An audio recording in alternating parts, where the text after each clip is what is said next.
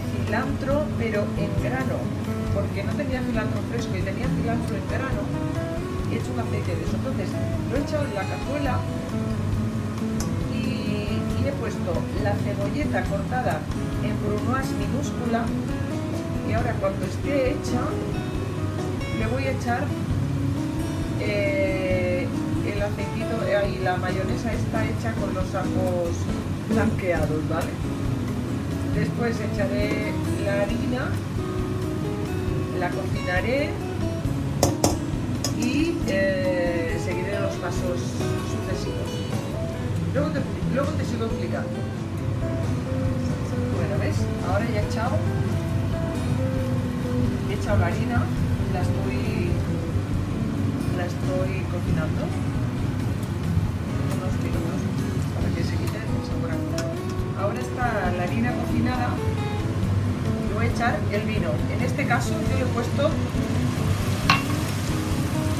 vino de Jerez, blanco. Vino. Buah, esto es bastante muerte. Madre mía. Y ahora iré echando el caldo. Cuando se evapore. Muy bien, y ahora voy a ir echando el caldo de verduras que lo tengo hecho hace dos días. Hice unas verduras y reservé el caldito. Voy a ir echando el caldito. Ir removiendo para que se vaya haciendo una salsa exquisita. Le he tenido que quitar bastante aceite, ¿eh?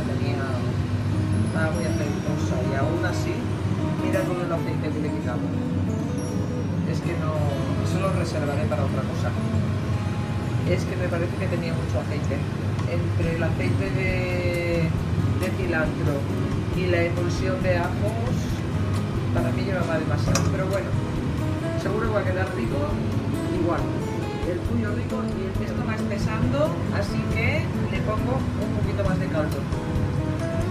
Ahí, poco a poco. Que vaya que vaya haciéndose como una especie de bechamel.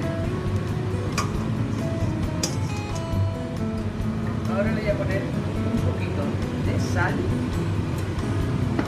y un poquito de uy, pimienta, que con una mano no puedo. Ahora lo voy a echar. Y por último, un chorrito más. Y con esto ya se acabará de hacer bien la salsa. A ver, no sé en qué momento iba el tomillo, así que yo se lo he hecho ahora, pero no tengo tomillo fresco, le pongo tomillo seco, un poquito nada más, no voy a pasarme, porque el tomillo es fuertitillo. Una, una piquita. Bueno, a ver, estoy probando esta salsa y os puedo decir que está que te inclinas, Gloria Mari. Vilches, Vilchef.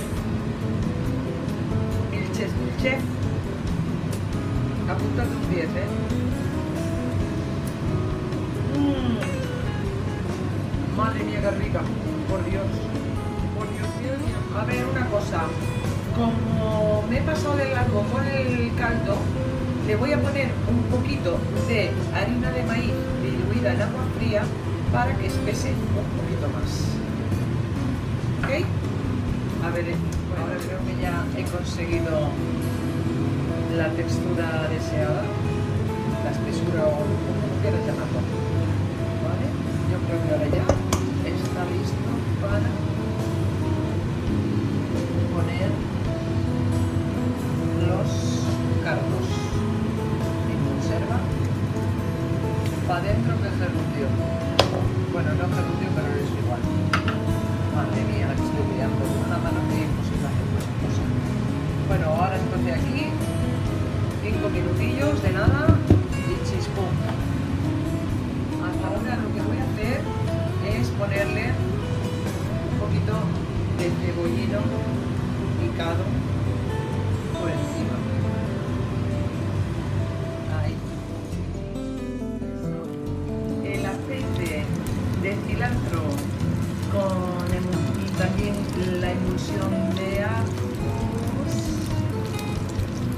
lo voy a utilizar para hacerme un frito.